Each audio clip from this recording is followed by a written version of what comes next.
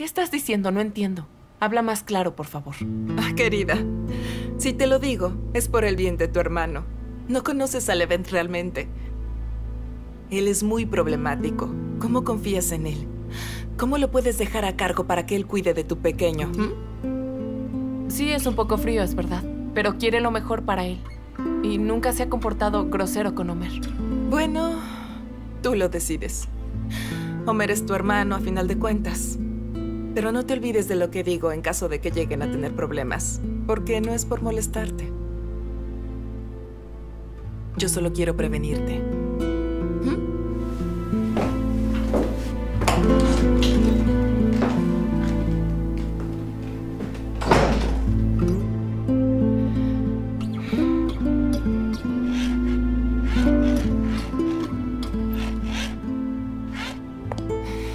Así que el hombre que conoce hace apenas dos días quiere lo mejor para su hermano.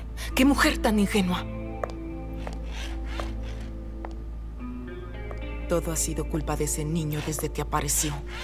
Pero pronto me encargaré. Hmm.